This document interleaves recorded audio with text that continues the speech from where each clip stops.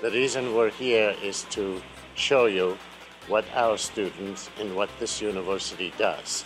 Eight weeks ago, John Prendergast visited my promotional design class and asked my students to create an informational and promotional campaign that would be used by student groups working for human rights across the country.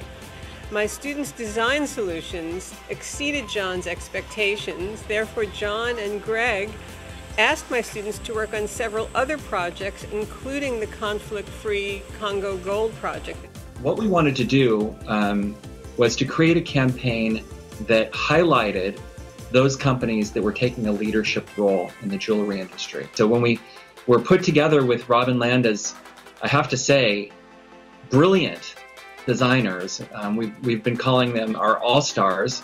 We presented this concept to them. Um, we worked with them for about, I'd say, six weeks on a very intense um, design schedule. Um, and in the in my past, I've worked with major design firms on on corporate campaigns, nonprofit advocacy campaigns, and advertising agencies.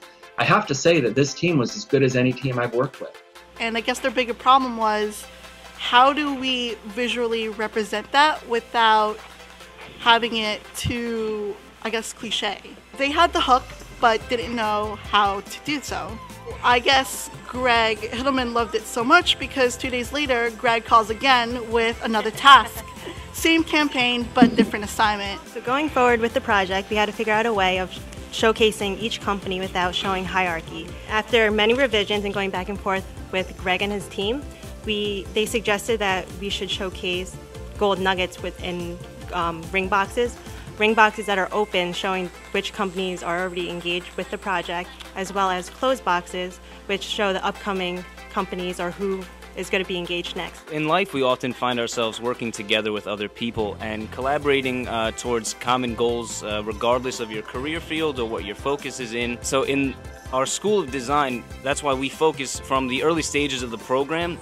Uh, one of our strong emphasis is on collaboration and teamwork and being able to work with other people towards a common goal.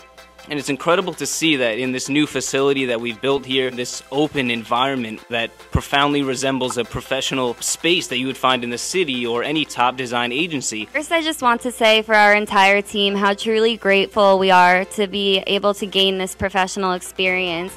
And it's been truly special because, unlike any project that we work on in class, this was real life and we got to work with a professional client. We were able to, most importantly, apply all of the knowledge and the tools that we've learned in school so far towards making a difference and raising awareness about something that really deserves to be highlighted. It's also because of these professional experiences that I believe that we all feel confident that we have the tools that we need to be successful designers. Research was a crucial part of our process, and I found myself really getting really emotionally invested in the cause. Um, it helped me realize that I ultimately want to work for a socially conscious creative agency that's aware of the consequences that can accompany certain products and services. Design has an immense ability to change behavior, and we should be channeling that kind of power for the greater good. The Human Rights Club wants to collaborate with our family, our Kean family, and bring awareness to the campaign and what the jewelry companies are doing by bringing out our laptops and our iPads and getting students in the community to sign the petition about this conflict-free initiative.